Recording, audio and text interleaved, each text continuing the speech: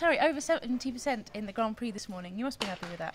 Well, yes, I'm pleased. I did a false free test, but tomorrow we definitely need to save some more energy for actually for the test because today I thought I, I'm going to win the warming up. The arena is a very relaxed, friendly arena. Some that's an advantage, but for you, not so much.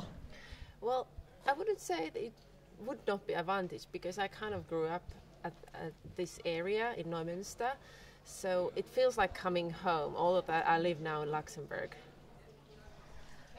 With the crowd, they're very close here. It's quite a small arena. How does that affect you and your horse? Well, my axis doesn't mind at all because I rode him here already first time when he was three, so it was 13 years ago. So this was our actually the first show ever, so we know the place. Tell me what it's like to come back to somewhere like this then that you have a lot of history with.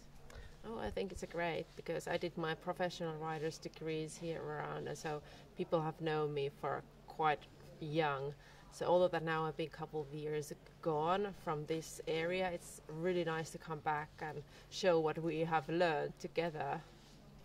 You've been busy on the World Cup circuit this year. Tell me, how's it been for you? Well, I think it's been quite nice. Um, it wasn't actually my goal to do a long uh, World Cup season because we got married just before the starting of the World Cup season. So Las Vegas was never my goal, but we hope for the best. That's great. Thank you so much. Best of luck tomorrow in the freestyle. Thank you very much.